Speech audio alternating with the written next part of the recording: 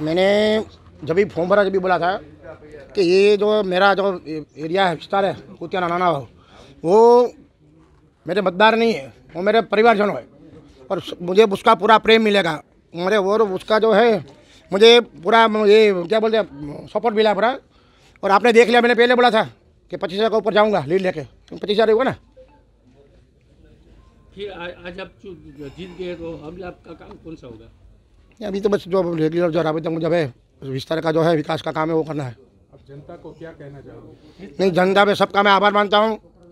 सब है मेरे वडील मेरे माता मेरा भाइयों मेरी बहनों सबका मैं अभिवादन करता हूँ सबको मैं धन्यवाद बोलता हूँ। आपने जो प्यार मुझे दिया है और मुझे जो स्नेह दिया है वो आजीवन नहीं भूलूँगा और सदैव मैं आपका काम करता रहूँगा। विस्तार का विकास की ओर लेकर जाऊँगा।